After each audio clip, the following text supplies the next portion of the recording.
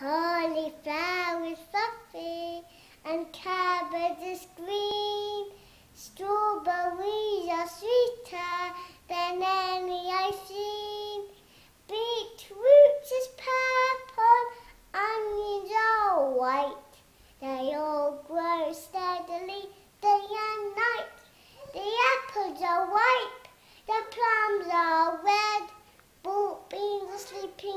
beans in bed.